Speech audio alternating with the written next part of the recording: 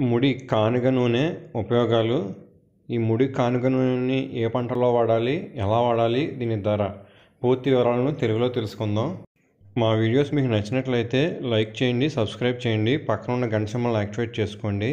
దీనివల్ల మేము చేసే ప్రతి వీడియో మీకు నోటిఫికేషన్ ద్వారా వస్తుంది.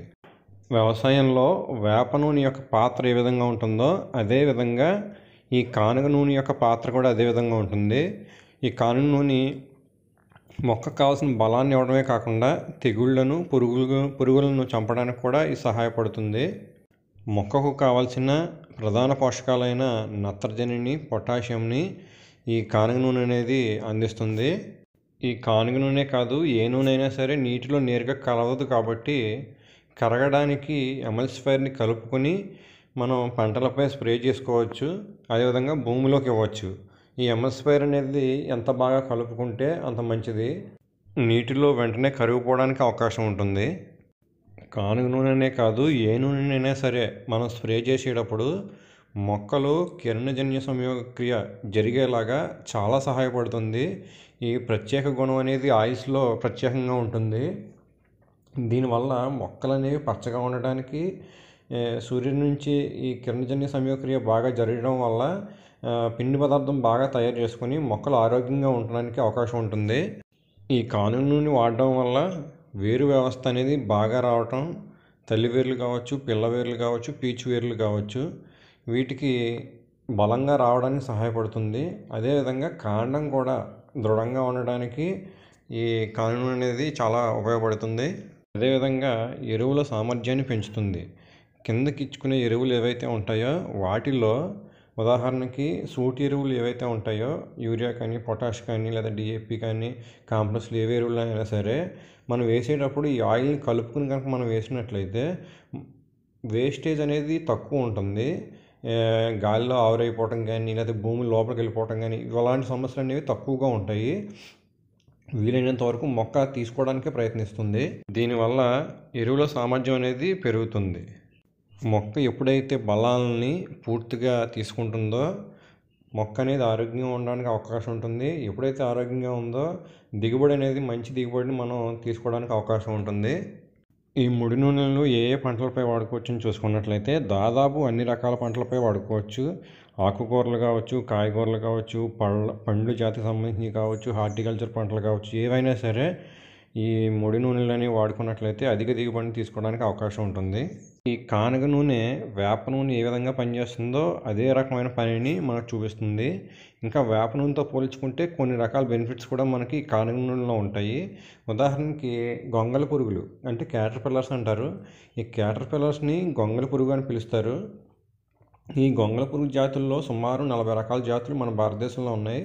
ఈ నలభై రకాల జాతుల్లో కొన్ని జాతుల గురించి చెప్తాను. ఒకసారి అర్థం చేసుకోండి. పొగాకు లద్దె పురుగు కావచ్చు లద్దె పురుగులు కావచ్చు శనగపచ్చ పురుగు కావచ్చు అదేవిధంగా మొక్కజొన్నలో వచ్చే ఫాల్ ఆర్మీ వామ్ కత్తెర పురుగు ఇవన్నీ ఈ క్యాటర్పిల్లర్స్ జాతికి సంబంధించినవే.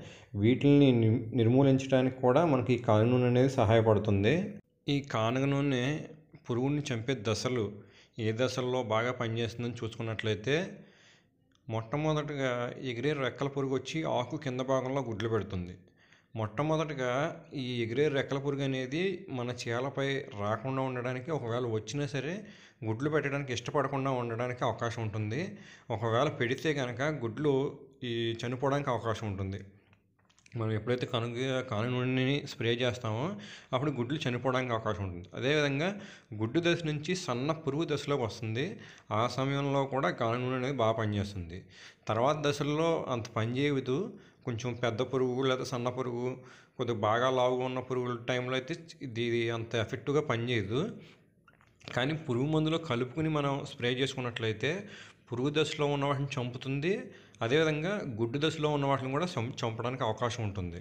పురుగు మందును మనం స్ప్రే చేసినప్పుడు కేవలం పెద్ద పురుగులు మాత్రమే చనిపోతాయి. మరి గుడ్లు చనిపోవడానికి లేదా సన్న పురుగు చనిపోవడానికి మనకి కాను నూనె కానీ పురుగు మందులు కలుపుకుని మనం స్ప్రే చేసుకున్నట్లయితే సన్న పురుగు గుడ్లు చనిపోతాయి. అదేవిధంగా పురుగు కూడా చనిపోతుంది. రెండు దశలను మనం నివారించడానికి అవకాశం ఉంటుంది. అదే మనం కేవలం పురుగు మందు మాత్రమే కొట్టామనుకోండి పురుగు మాత్రం చనిపోతుంది గుడ్లు చనిపోవు. రెండు మూడు రోజులు చూసుకున్నట్లయితే ఆ గుడ్లు కాస్త మళ్ళీ పురుగుల కింద మారి మళ్ళీ పంట నష్టానికి గురి చేస్తాయి. మనం ఏమనుకుంటామంటే మనం తెచ్చిన మందు పని చేయట్లేదు అని మనం భావిస్తాం. కానీ అక్కడ జరిగింది ఏంటంటే గుడ్లు పెద్దవిగా మారి మొక్కలను నష్టం చేస్తుంది. మనం రెండు దశల్లోనే నిర్మూలించుకోవాలంటే గానుగ నూనెని కానీ వేప నూనె కానీ కలుపుకుని పురుగు మందులు స్ప్రే చేసుకున్నట్లయితే రెండు దశల్లో మనం చంపడానికి అవకాశం ఉంటుంది. ఈ లద్దె పురుగులు చంపడానికే కాకుండా రసం పీల్చే పురుగులను కూడా ఇది సమర్థవంతంగా పనిచేస్తుంది. ఉదాహరణకి లీఫ్ మైనర్ పాము పొడ నివారణ నివారణకు కూడా ఈ గాలి నూనె అనేది చాలా బాగా పనిచేస్తుంది. ఈ లీఫ్ మైనర్ రావడానికి ఒక ఈగ లాంటిది దాని వెనక భాగంలో చిన్న ముల్లులా ఉంటుంది. ఆ ముళ్ళులోంచి ఆకు మధ్య భాగంలోకి గుడ్లను పెడుతుంది. ఆ గుడ్లు కాస్త సన్నటి పురుగుల కింద మారి అది కంటికి కనిపించినంత సైజులో ఉంటుంది. అది పాకుతూ ఆకుల్ని ధ్వంసం చేస్తుంది. మనకు అందుకే అది జిగ్జాగ్ లాగా కనిపిస్తూ ఉంటుంది. ఈ ఈ పురుగులను కూడా చంపడానికి మనకి కాను నూనె చాలా సహాయపడుతుంది. ఒకవేళ కాను నూనెని మనం స్ప్రే చేసినప్పుడు కూడా చనిపోకపోయినట్లయితే కనుక ఏదైనా పురుగు మందులో కలుపుకొని మనం స్ప్రే చేసినట్లయితే మంచి ఫలితాలు ఆశించవచ్చు. కాకపోతే మొక్క పెట్టినప్పటి నుంచి కాను నూనెని కనుక వాడుకున్నట్లయితే లీఫ్ మైనర్ అసలు రాకుండా చూసుకోవచ్చు. పురుగు మందు కూడా కలపాల్సిన అవసరం ఉండదు. అదేవిధంగా రసం పీల్చే పురుగుల్లో మరొకటి వైట్ ఫ్లై దీన్నే తెల్లదోమ అని పిలుస్తారు. తెల్లదోమ వల్ల కూడా మొక్కలకి వైరస్ వచ్చే అవకాశం ఉంటుంది. ఇది తొలి దశలో మనం గుర్తించినట్లయితే ఈ వైరస్ని కూడా రాకుండా మనం జాగ్రత్త పడవచ్చు. ప్రతి పది రోజులకు కానీ వారానికి ఒకసారి కానీ మొక్క పెట్టినప్పటి నుంచి మనం స్ప్రే చేసుకున్నట్లయితే ఈ తెల్ల తెల్లదోమను కూడా మనం నివారించుకోవచ్చు. అదేవిధంగా రసం పీల్చే పురుగుల్లో అతి ప్రధానమైనది కొంచెం కష్టతరమైన రసం పీల్చే పురుగులు పిండి నల్లి. ఈ పిండి నల్లి కూడా మొక్కలపై తీవ్రమైన ప్రభావాన్ని చూపిస్తుంది. ముఖ్యంగా పండ్ల తోటల్లో అదేవిధంగా కాయగూరల్లో కూరగాయ తోటల్లో కూడా ఎక్కువగా వస్తుంటుంది. ఇది ఎప్పుడైతే ఈ పిండి నల్లి వచ్చిందో పిండి నల్లి అనేది రసాన్ని బాగా పీల్చేసి మొక్కల్లో ఉన్న రసాన్ని పీల్చి ఒక విష పదార్థాన్ని మొక్కల్లోకి వదులుతుంది. దీనివల్ల మొక్కలు చనిపోవడానికి అదేవిధంగా కాయలు దిగుబడి పడిపోవడానికి ఎక్కువ అవకాశం ఉంటుంది. ఈ సమస్య రాక ముందు నుంచి మనం ఈ కానగ నూనె కన్నా స్ప్రే చేసుకున్నట్లయితే చాలా వరకు మొక్క తట్టుకునేదానికి అవకాశం ఉంటుంది.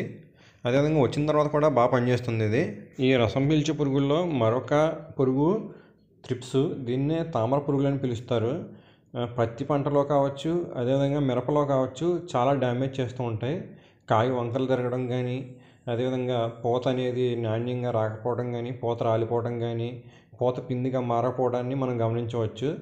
ఈ సమస్యని మనం బయటపడాలంటే కాను నూనెని మొక్క పెట్టినప్పటి నుంచి వాడుకోవాలి. వచ్చిన తర్వాత అంత సమర్థవంతంగా పనిచేయనప్పటికీ ఏదైనా పురుగు మందులు కానీ మనం కలుపుకుని స్ప్రే చేసినట్లయితే మంచి గుణాన్ని మనం గమనించవచ్చు.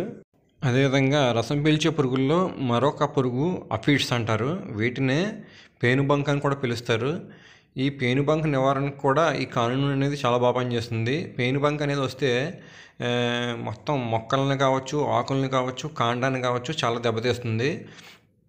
గుంపులు గుంపులుగా వచ్చి రసాన్ని పీల్చేసి పత్రహరితాన్ని సరిగ్గా జరగకుండా సు మన కిరణజన్య సంయోక్రియని జరిగ్గా సాఫీగా జరగకుండా చేస్తుంది. దీనివల్ల మొక్క చనిపోవడానికి అవకాశం ఉంటుంది. దీనికోసం దీని నివారణ కోసం కూడా మనం ఈ కాని నూనెని మనం స్ప్రే చేసుకున్నట్లయితే పూర్తిగా నివారించుకోవడానికి అవకాశం ఉంటుంది. అదేవిధంగా ఈ పత్తి పంటలో కావచ్చు పచ్చిమిరప పంటలో కావచ్చు మిరప పంటలో కావచ్చు మనం పచ్చదోమని ఎక్కువ చూస్తూ ఉంటాం. ఈ పచ్చదోమని ఇంగ్లీష్లో జాసిడ్స్ అని పిలుస్తారు. ఈ పచ్చదోమ కారణంగా మొక్కలు పసుపుగా మారిపోవటం పత్రహరితాన్ని సరిగ్గా తీసుకోలేకపోవటం మొక్క వీక్ అయిపోవటం చనిపోవడానికి కూడా అవకాశం ఉంటుంది. సో దీనికోసం మనం కాని కనుక మనం స్ప్రే చేసుకున్నట్లయితే వచ్చిన తర్వాత కంటే మొక్క మొదటి నుంచి స్ప్రే చేసుకుంటే మంచి గుణాలను మనం గమనించవచ్చు. ఈ రసం పీల్చే పురుగుల్లో మరొక పురుగు రెడ్ మైట్స్. దీన్ని ఎర్ర నల్లిని కూడా పిలుస్తారు. ఈ నల్లి నివారణకు కూడా ఈ కాని నూనె అనేది చాలా బాగా పనిచేస్తుంది. ఈ కాని నూనె స్ప్రే చేసినప్పుడు మొక్కలు బాగా గ్రహించుకొని పురుగులు తినడానికి ఇష్టపడవు. ఒకవేళ తిన్నట్లయితే ఆ పురుగులకు అరుగుదల శక్తి అనేది తగ్గిపోతుంది. దాని ద్వారా నీరసించి చనిపోవడానికి అవకాశం ఉంటుంది. అదేవిధంగా మనం స్ప్రే చేసినప్పుడు ఆ పురుగుల మీద కానీ పడినట్లయితే చర్మం పైన చర్మం మీద ఈ కాను పడినప్పుడు మొక్కలపై ఎక్కువసేపు ఉండడానికి ఇష్టపడదు. బయటకు వెళ్ళిపోవడానికి అవకాశం ఉంటుంది. దీనివల్ల పంటలు అనేవి సురక్షితంగా ఉండడానికి అవకాశం ఉంటుంది. ఈ నూనె మందుల్ని స్ప్రే చేసేటప్పుడు స్ప్రెడర్ని కలుపుని చేసుకోవాలి. నూనె మందులనే కాదు పురుగు మందులు కావచ్చు ఏ మందులు అయినా సరే మొక్కలపై స్ప్రే చేసేటప్పుడు స్ప్రెడర్ని ఖచ్చితంగా కలపండి. దీనివల్ల ఈ మన మందులు ఏవైతే స్ప్రే చేస్తున్నామో అది పూర్తిగా మొక్క గ్రహించుకోవడానికి అవకాశం ఉంటుంది. మొక్క పూర్తిగా వినియోగించుకుంటుంది. దీనివల్ల మనకి వేస్టేజ్ అనేది తగ్గుతుంది.